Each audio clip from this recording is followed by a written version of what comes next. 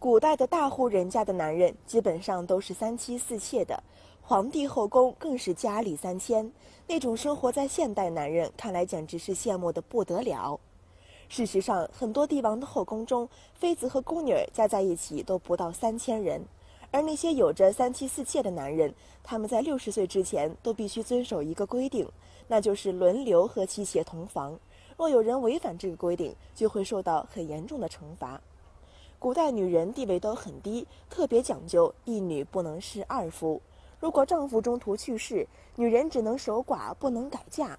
后来到了民国时期，很多人的思想都有了转变，不仅女人开始上学读书学东西，还可以有自己的事业。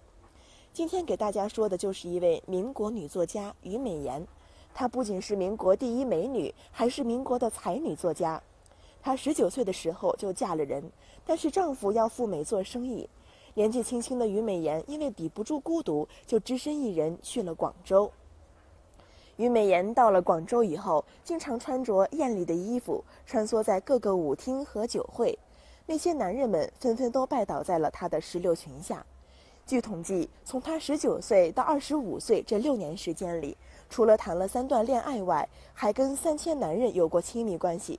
这还不算什么，最重要的是，这三千男人都是他喜欢的人，他心甘情愿免费和他们在一起，还在空闲时间将自己与这些人的事情写了一本回忆录，用来纪念他的爱情和那三千男人。